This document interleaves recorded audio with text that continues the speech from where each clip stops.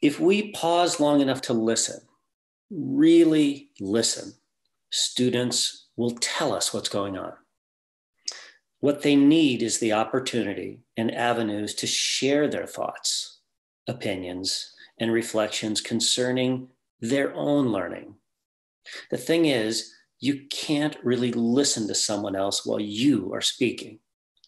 Perhaps that's why Hattie contends that we need to stop talking once in a while and create that space to listen with them.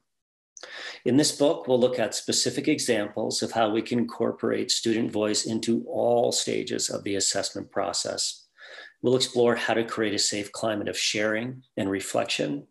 Throughout the book, I'll share assessment tools and strategies that empower students and welcome student voice. For instance, when I incorporated a sharing circle in my classroom, I experienced a revolutionary change in the learning climate, both during our sharing circle activities and in classroom conversations that followed long after the circle disbanded. Many educators have told me how listening to their students is transformational, transformational for them in their practices. One of the best examples was from an educator in Minnesota who listened in on a homework conversation between her daughter and a friend. At one point, her daughter stopped at a question and was trying to explain a key math concept.